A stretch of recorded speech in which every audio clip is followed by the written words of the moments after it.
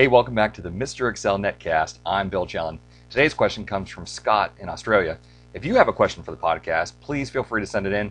You can call and leave it in as a voicemail. Um, in the US, 866 581 0221.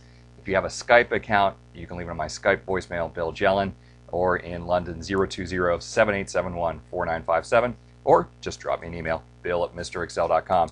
Now, Scott has a uh, question today that involves something very important um, and work related, especially if we're trying to get out of work by hitting the lottery.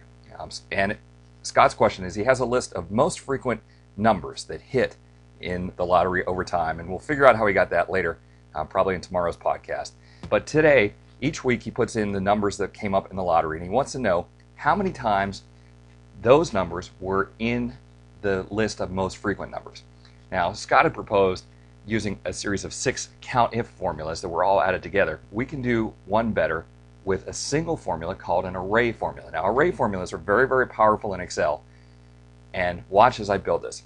The first thing I'm going to think about is that I want to end up with a string of six zeros or ones. One's, a one means that the number was in the list, a zero means that the number was not in the list.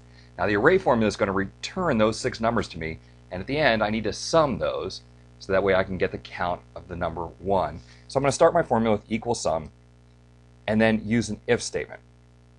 Now when I do a match command, a match command says, hey, go look for this number 6 within the list, and if there is a match, it returns a number. If there isn't a match, it returns an NA. I'm really interested in the number of NA, so I'm going to use the function called isNA. The isNA function, and then I'll put the match function.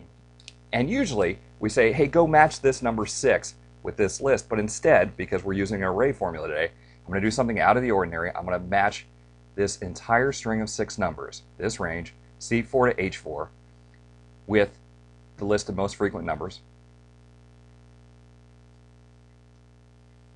There's my match command. I'll use a closing parentheses for the is NA. Now, if I get an NA from that, that means that the number is not found, and I want to put a zero, that's my then part of the if function.